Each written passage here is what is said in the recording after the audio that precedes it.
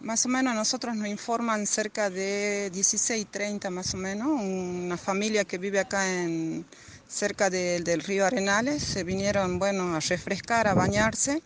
y se metieron dos menores y después el grupo de, los hermanos y amigos que estaban ahí han, visto que se estaban ahogando, así que intentaron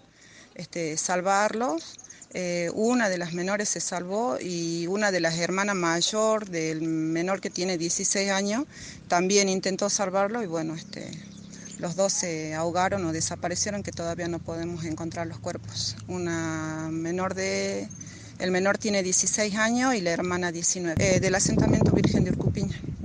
Recién llegó el personal de la CUSTRE, yo calculo, y con el personal de infantería que está en el lugar, bomberos, más o menos cuento con unos 35 efectivos eh, que están buscando. Acá nos están diciendo el personal de bomberos, más o menos la profundidad del río tiene más o menos 6 metros, así que y hay mucha basura y suciedad y árboles caídos, así que es imposible este, ubicarlo. Eh, estamos suponiendo que posiblemente estén agarrados ahí con los árboles que están dentro del agua.